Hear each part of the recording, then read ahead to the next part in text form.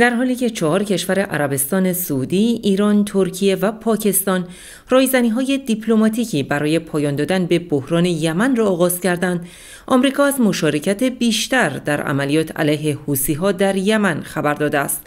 آمریکا می‌گوید در حال تسریع تحویل سلاح به ائتلاف تحت هدایت عربستان سعودی است که شورشیان حوسی یمن را هدف قرار می‌دهد.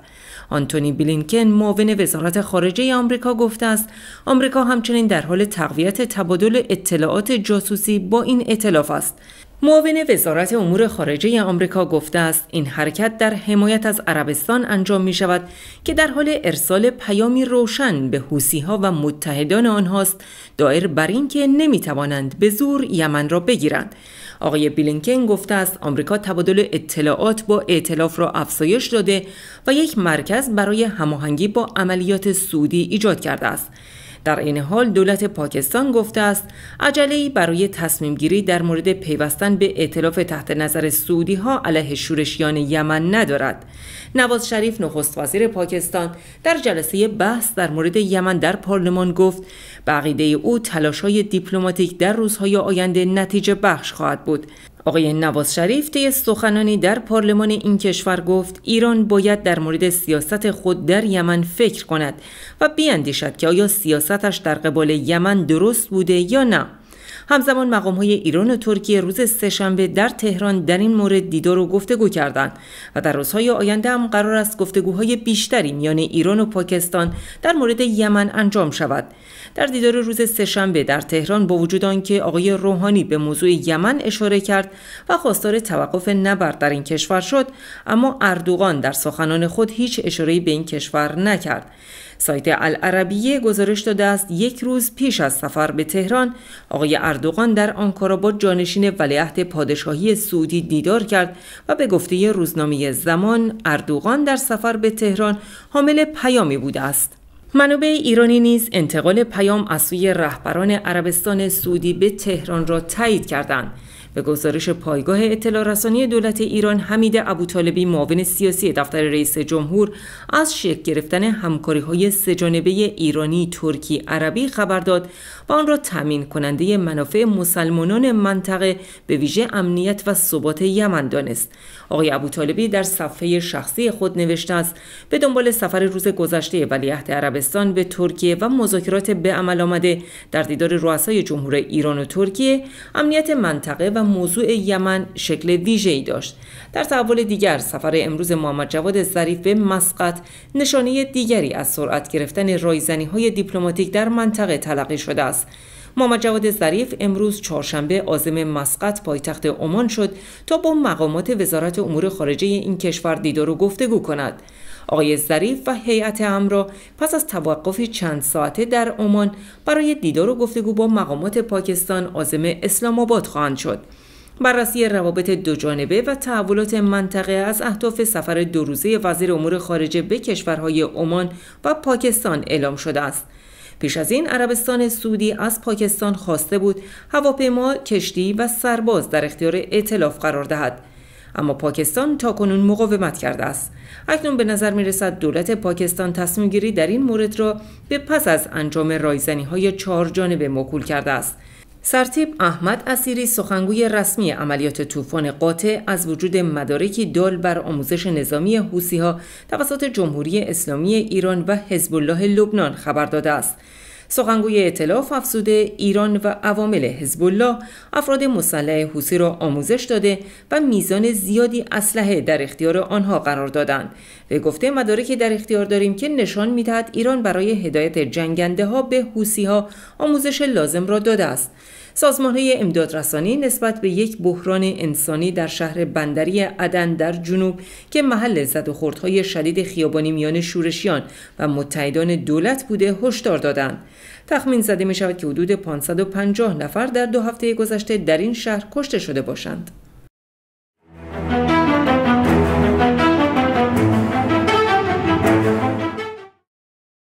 یک هفته پس از پایان مذاکرات لوزان و اعلان بیانیه‌ای که چارچوب توافق بر سر برنامه اتمی ایران را تایید می کند مجادله رئیس جمهوری آمریکا با منتقدان این توافق همچنان ادامه دارد. در تازه ترین اظهار نظر باراک اوباما رئیس جمهوری آمریکا گفت تهدید نامزد احتمالی حزب جمهوری خواه در انتخابات 2016 آمریکا درباره لغو توافق هسته‌ای با ایران ابلهانه است.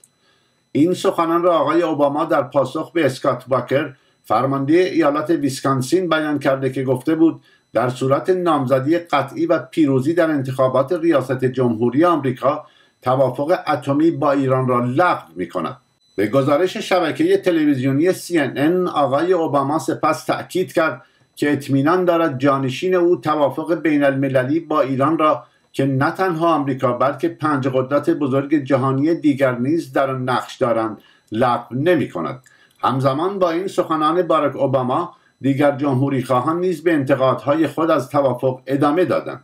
جان بینر رئیس مجلس نمایندگان آمریکا گفت که چارچوب توافق شده در مذاکرات لوزان میان ایران و قدرتها تهدیدی مستقیم برای صلح و امنیت خاورمیانه و سایر جهان است. آقای بینر به اظهارات آقای اوباما در مصاحبه با رادیوی ملی آمریکا واکنش نشان می‌داد که گفته بود ایران پس از 13 سال خواهد توانست ظرف مدت کوتاهی به سمت ساخت بمب ای برود. آقای اوباما در مصاحبه با NPR گفت اگر این توافق نهایی شود تضمین کننده این مسئله است که ایران تا 13 سال زمان گریزی کمتر از یک سال نخواهد داشت. زمان گریز به دوره‌ای گفته می شود که ایران در صورت نقض تعهداتش طی آن به بمب اتمی دست خواهد یافت یا به عبارت دیگر زمانی که آمریکا و متحدان آن وقت خواهند داشت مانع دسترسی ایران به این سلاحها شوند. آقای بینر می‌گوید که اظهارات آقای اوباما معید این مسئله است که توافق در حال شکلگیری راه ایران را در آینده به سوی سلاح اتمی هموار خواهد کرد. آقای اوباما که میکوشد تفاهم با ایران را در کنگره به کرسی بنشاند در مصاحبه روز گذشته با NPR گفت که برنامه اتمی ایران برای یک دهه اورانیوم غنی شده کافی که برای تولید مواد ساخت سلاح هسته‌ای لازم باشد تولید نخواهد کرد. آقای اوباما گفته بود نگرانی مناسبتر این است که در سال 13 هم، 14 و 15 آنها سانتریفیوژ های پیشرفته ای در اختیار خواهند داشت که اورانیوم را با سرعت زیادی غنی می کند و در آن مرحله زمان گریز تقریبا به صفر کاهش پیدا کرده است. مقام های آمریکایی می‌گویند که حتی پس از توافق 15 ساله هم نظارت بر برنامه اتمی ایران ادامه خواهد یافت. اما آقای بینر گفته است هیچ کس نباید تصور کند که بازرسی ها و راستی آزمایی های مندرج در این توافق کاملا از خطا مسون خواهد بود. در تحولی دیگر جان برنان رئیس سازمان اطلاعات مرکزی آمریکا سیا ضمن حمایت از تفاهم سیاسی لوزان در مورد برنامه اتمی ایران برخی از انتقادات علیه آن را ناشی از تظاهر نامید و گفت از امتیازهایی که تهران داده شگفت زده است. به گزارش خبرگزاری فرانسه آقای برنان در نخستین اظهار نظری که در مورد تفاهم لوزان ابراز کرده است روز گذشته طی سخنانی در دانشگاه هاروارد گفت افرادی که می‌گویند این توافق راهی در برابر ایران میگشاید تا به بمب هسته‌ای برسد تظاهر می‌کنند. رئیس سازمان سیا گفته من به شکل رضایتمندی شگفت زده هستم که ایرانی ها با این همه موافقت کردند به گفته آقای برنان برخی از منتقدان بیش از آن که بر برنامه اتمی تهران متمرکز باشند بر تأثیری که رفع تحریم ها می‌گذارد متمرکز هستند. و اینکه چنین چیزی به حکومت ایران اجازه می‌دهد مشکلاتی بیشتر در منطقه ایجاد کند. به گفته رئیس سیا چنین نگرانی قابل درک است. اما در این حال او فکر نمی کند که در پی همه اینها تهران ناگهان موضعی غیرفعال و سربزیر در مورد منطقه در پی گیرد. رئیس سازمان سیا در عین حال تأکید کرده است که روشن نیست آیا رویکرد عملگرای ایران در رابطه با برنامه اتمیش تحت ریاست جمهوری حسن روحانی به دیگر بخش های سیاست خارجی ایران انتقال پیدا می کند یا نه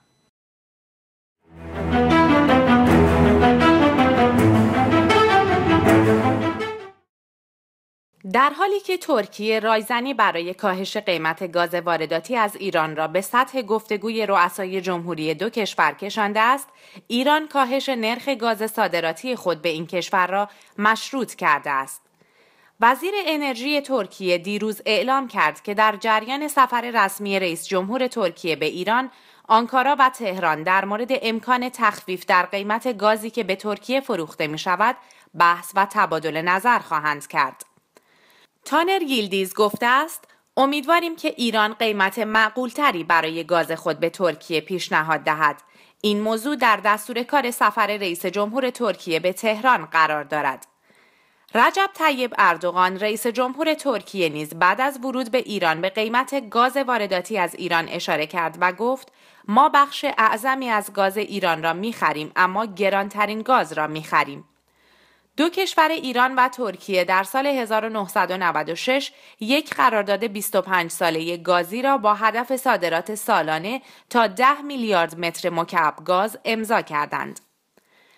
از سال 2002 ایران روزانه 30 میلیون متر مکعب گاز به ترکیه صادر می کند به طوری که ایران در سال 2013 با صدور حدود 8 میلیارد متر مکعب پس از روسیه دومین تأمین کننده گاز ترکیه است. ترکیه در این مدت بارها به بهانه متفاوت از ایران به داوری بین المللی لاهه شکایت کرده است. آخرین مورد آن شکایت این کشور ترک از ایران بابت ضعف زیرساختهای صدور گاز به این کشور بود که البته این ادعا در دادگاه بین المللی رد شد. شکایت دیگر ترکیه مربوط به قیمت گاز وارداتی از ایران است. تصمیم دیوان بین المللی داوری در مورد شکایت ترکیه از تهران بر سر قیمت گاز صادراتی ایران به ترکیه در اردیبهشت ماه اعلام خواهد شد. قیمت گاز صادراتی ایران به ترکیه به صورت رسمی اعلام نشده است. آنکارا مدعی است که ایران گاز صادراتی خود به این کشور را گرانتر از روسیه و آذربایجان به فروش میرساند و در ژانویه 2012 از ایران به دیوان بین المللی داوری در سوئیس شکایت کرد. پیش از این محمد رضا عراقی مدیرعامل شرکت ملی گاز ایران با تاکید بر اینکه وزیر نفت مذاکره کننده اصلی در بحث صادرات گاز است اعلام کرده بود که ایران برای بررسی دوباره قیمت گاز صادراتی به ترکیه آمادگی گفتگو دارد و درباره رأی دادگاه نیز نگرانی ندارد. آقای عراقی گفته بود این شکایت تأثیری در روند صادرات گاز به ترکیه ندارد چرا که صادرات گاز ایران به ترکیه قراردادی بلند مدت است. بیژن زنگنه وزیر نفت نیز اعلام کرده بود که ایران حاضر است در قبال افزایش حجم صادرات گاز به ترکیه قیمت را کاهش دهد. مدیرعامل شرکت ملی گاز ایران گفته است این پیشنهاد وزیر نفت و دولت ایران ربطی به قرارداد قبلی ندارد و طبق آن در صورتی که ترک ها درخواست گاز بیشتری از ایران داشته باشند قراردادی جدید با قیمت جدید بسته شود. نرخ جدید هم بسته به نوع قرارداد و آیتم های بین المللی است.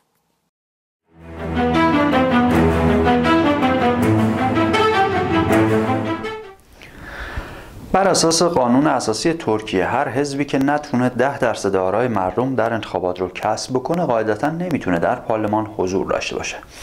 کردها در طی سالهای اخیر برای گریز از این قانون سعی کردن نمایندگانشون رو به صورت مستقل در انتخابات شرکت بدن. اما حالا رهبران حزب کردی هدپ تقریبا اطمینان دارن که محبوبیت حزبشون در ترکیه آن اندازه افزایش یافته که بتونن برای نخستین بار به صورت حزبی در رقابت های انتخاباتی شرکت بکنن.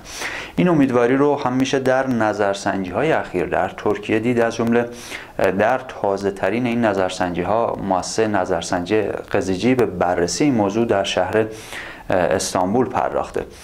نتایج این نظرسنجی رو که روزنامه جمهوریت منتشر کرده نشون میده که کردها در کلان شهر استانبول می‌تونن بالغ بر 13 درصد آرای انتخاباتی رو به خودشون اختصاص بدن.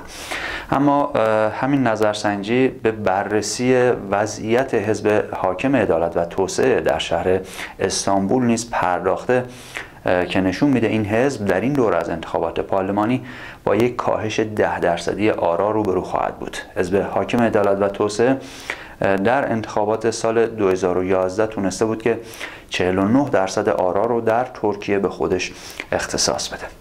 اما حزب کردی هدپ برای عبور از قانون حد نصاب 10 درصدی تلاش کرده آرای گروه ها و اقلیت های مذهبی دیگه در ترکیه رو به سمت خودش جذب بکنه. این حزب کردی با شعار زندگی جدید در انتخابات خرداد ماه مجموعاً 550 نماینده رو به هیئت عالی انتخابات ترکیه معرفی کرده که این لیست شامل افرادی از اقلیت های مذهبی ترکیه از جمله علوی ها هم میشه.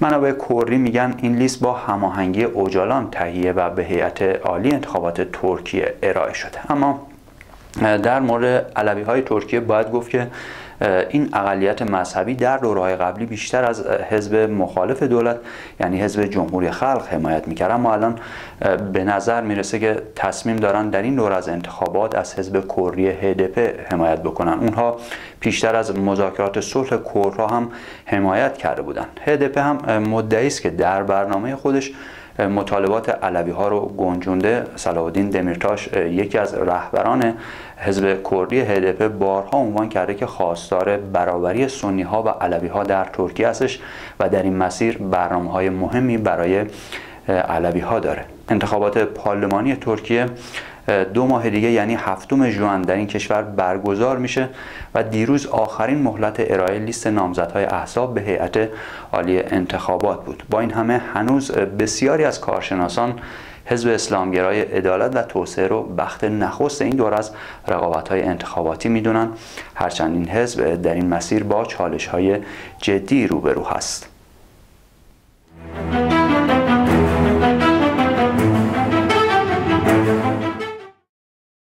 یک مقام آمریکایی روز گذشته گفت وزارت خارجه این کشور احتمالا در چند روز آینده نظر مشورتی خود در مورد خروج کوبا از فهرست کشورهای متهم به حمایت از تروریسم را اعلام می کند. آمریکا 32 سال پیش کوبا را در فهرست کشورهای حامی تروریسم قرار داد. برداشتن نام کوبا از فهرست کشورهای حامی تروریسم گام مهمی برای بهبود مناسبات دو کشور در آستانه نشست رهبران کشورهای قاره آمریکا محسوب می شود که در روزهای آینده برگزار خواهد شد. باراک اوباما پس از اعلام تصمیم به برقراری روابط دو کشور در 17 دسامبر گذشته از وزارت خارجه در مورد خروج کوبا از فهرست کشورهای حامی تروریسم نظرخواهی کرد و قول داد به محض دریافت توصیه این وزارتخانه به سرعت اقدام کند. آقای اوباما روز چهارشنبه به جامائیکا و سپس برای شرکت در نشست رهبران کشورهای قاره آمریکا در روزهای ده و یازده آوریل به پاناما می رود و در آنجا با راول کاسترو رئیس جمهور کوبا دیدار خواهد داشت. یک مقام مطلع از این موضوع گفت وزارت خارجه می تواند نتیجه خود در مورد خروج کوبا از این فهرست را طی یک یا دو روز آینده اعلام کند. بن رودز معاون مشاور امنیت ملی دولت آمریکا پیشتر گفته بود بررسی وزارت خارجه رو به اتمام است اما نمی‌تواند زمان دقیقان را پیش بینی کند. مشاور امنیت ملی آمریکا روز سهشنبه صبح در یک کنفرانس تلفنی به خبرنگاران گفت تصور می‌کنیم که احتمالا در مراحل پایانی باشد ولی زمان آن در کنترل ما نیست. وزارت خارجه آن را تعیین می‌کند. باقی ماندن کوبا در فهرست سیاه آمریکا یکی از موانع از سرگیری مناسبات و بازگشایی سفارت دو کشور است. این مقام دولت باراک اوباما گفت آمریکا و کوبا در آستانه حل یکی از موانع مهم برای تکمیل بررسی هستند. آمریکا از کوبا خواسته است تعهد کتبی بدهد که در آینده از تروریسم حمایت نمی کند. کوبا نیز از آمریکا درخواست متقابلی کرده است. خروج کوبا از فهرست کشورهای حامی تروریسم باعث لغو بعضی از تحریم ها و محدودیت های مالی علیه این کشور می شود اما تحریم واردات و صادرات این کشور که تنها می تواند توسط کنگره لغو شود به جای خود باقی می ماند.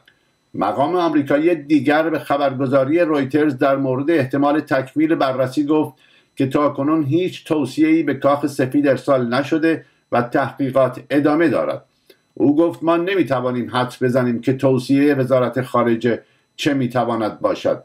خروج کوبا از این فهرست برای باراک اوباما فرصت مناسبی است تا تمایل به گسترش مناسبات با کوبا و همچنین تمایل آمریکا برای بهبود مناسبات با کشورهای آمریکای لاتین را به شرکت کنندگان در اجلاس روزهای آینده نشان دهد. آقای اوباما روز سهشنبه در مصاحبه‌ای با رادیو تلویزیون ملی آمریکا گفت به محض دریافت توصیه در موقعیتی خواهم بود که می‌توانم اقدام کنم.